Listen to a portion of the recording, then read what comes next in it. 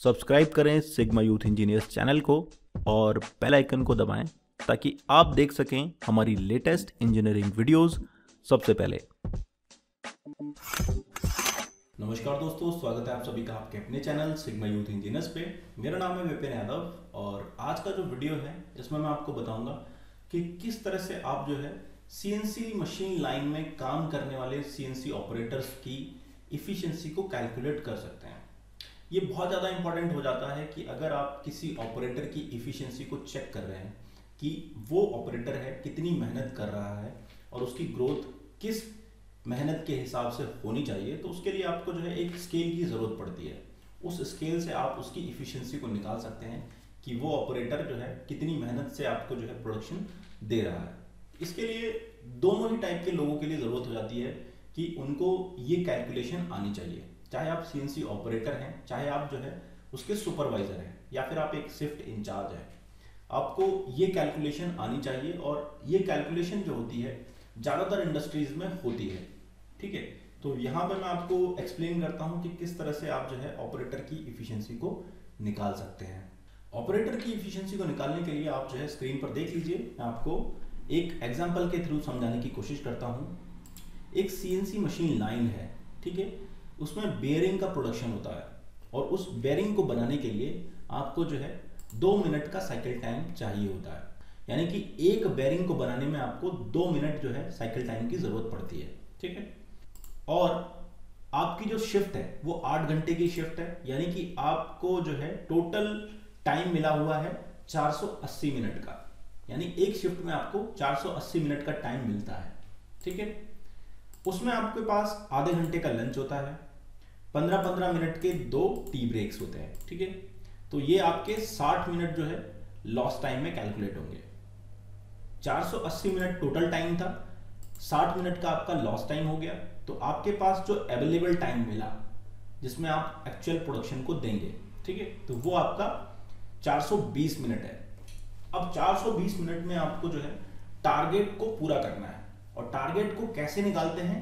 Target production का जो formula है target production equal to total available time divided by cycle time मतलब जितना टाइम आपके पास अवेलेबल है, उसको जो है साइकिल टाइम से डिवाइड कर दीजिए तो आपके पास जो है टारगेट निकल के आ जाएगा कि आपको उस शिफ्ट में इतना टारगेट पूरा करना है।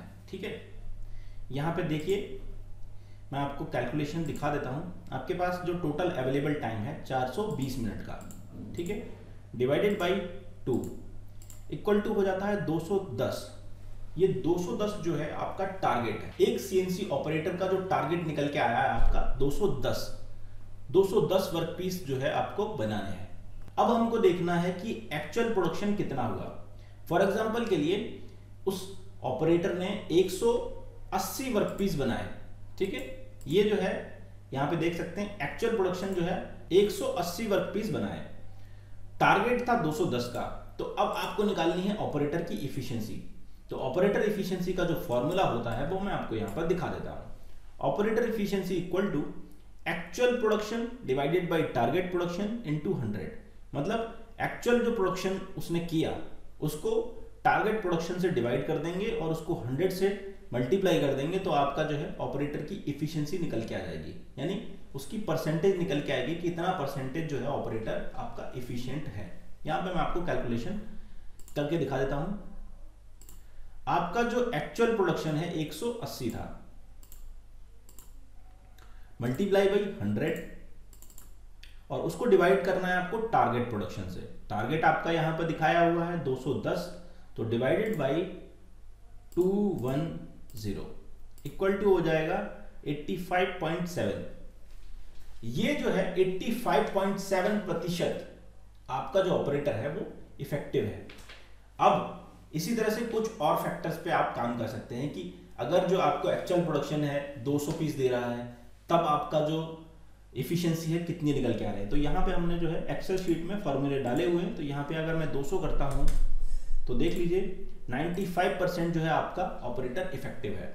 ठीक है? 95 परसेंट जो है आपको इफिशियंसी दे रहा है। इसी तरह से अगर वो 150 वर्क पीस ही बना पाता है उस टाइम में तो आपका जो है 71 परसेंट जो है ऑपरेटर इफिशियंसी निकल के आ रही है। तो इस तरीके से आप जो है अपने ऑपरेटर की इफिशियंसी को चेक कर सकते हैं और ये भी दिखा सकते हैं कि भाई कौन सा ऑपरेटर कितनी मेहनत कर रहा है और उसका जो प्रोडक्शन है कितना ज़्यादा जा रहा है। इस तरह से आप जो है ग्रोथ उस हिसाब से उसको दे सकते हैं। तो ये एक स्केल है इंडस्ट्री में ये स्केल यूज़ किया जाता है। कि किस तरह से जो आपका ऑपरेटर जो है काम कर रहा है और उसको जो है उस हिसाब से सैलरी ग्रोथ देना चाहिए। तो ये एक एक फैक्टर है। अगर आप एक इंजीनियर हैं सुपरवाइजर हैं या फिर आप एक शिफ्ट इंचार्ज हैं तो आपको ये कैलकुलेशन आनी चाहिए। तो ये कैलकुलेशन आप सीख गए होंगे आई होप और ऐसे ही कुछ और कैलकुलेशन की ज़रूरत पड़ती है, जो प्रोडक्शन लाइन में आपको यूज़ करनी पड़ती है। तो ऐसे ही कुछ और इन्फॉर्मेटिव वीडियोस मैं आपके लिए लेके आता रहूँगा। तो अभी के लिए बस इतना ही। मिलते हैं अगले वीडियो में। Thanks for watching video